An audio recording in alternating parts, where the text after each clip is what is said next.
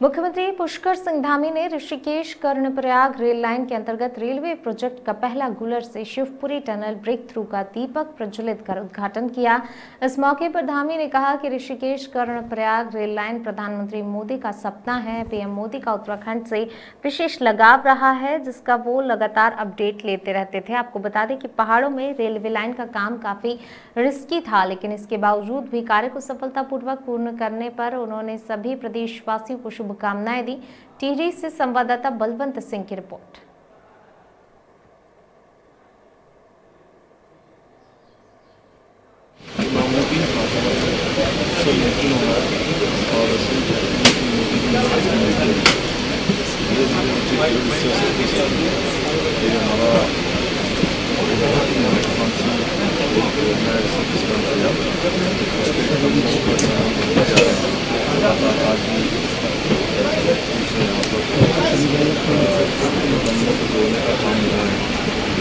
एक सौ चार किलोमीटर एक सौ पच्चीस किलोमीटर